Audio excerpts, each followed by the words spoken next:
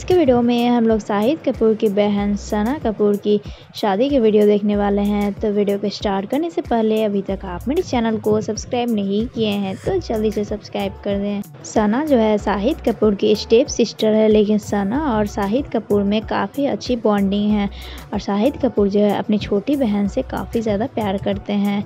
उनकी शादी में शाहिद कपूर जो है एक इमोशनल पोस्ट इंस्टाग्राम पर शेयर करते हैं, जो इसके बाद जो है फैंस बहुत ही ज़्यादा भावुक हो गए हैं और मीरा भी शाहिद कपूर की सिस्टर को बहुत ज़्यादा प्यार करती हैं और उसके लिए इंस्टाग्राम पे उनकी शादी की फ़ोटोज़ शेयर की हैं। आपको बता दें कि शाहिद कपूर की छोटी बहन जो है अपने लॉन्ग टाइम बॉयफ्रेंड के साथ शादी के बंधन में बंधी हैं और उनका एक ग्रैंड लग्जरियस शादी हुआ, जिस शादी में जो है बॉलीवुड के कई सितारे शामिल हुए थे, जिसमें जो है मीरा जो है बहुत ही प्यारा साड़ी पहनी हुई नज़र आ रही थी।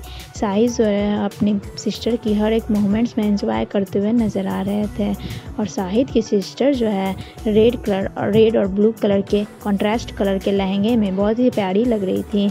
और शाहिद जो है अपनी बहन से काफ़ी ज़्यादा प्यार करते हैं।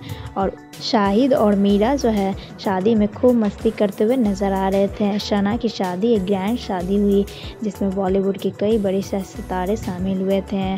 और शना की मम्मी जो है इमोशनल होते हुए नज़र आ रही थी। आपको बता दें कि शना जो है अपनी शादी में खूब मस्ती, आप लोग को शाहिद कपूर की सिस्टर के वेडिंग वीडियो देखकर कैसा लगा, मुझे कमेंट बताना ना भूलेगा और शाहिद कपूर की सिस्टर की जोड़ी कैसी लगी, मुझे कमेंट करके ज़रूर बताएँ। अगर वीडियो अच्छा लगा हो तो वीडियो को लाइक करना ना भूलें और चैनल पर नया है तो चैनल को सब्सक्राइब कर दें और बेल आइकन को ऑन कर दें ताकि आने वाले वीडियो का नोटिफिकेशन आपको मिलते रहे।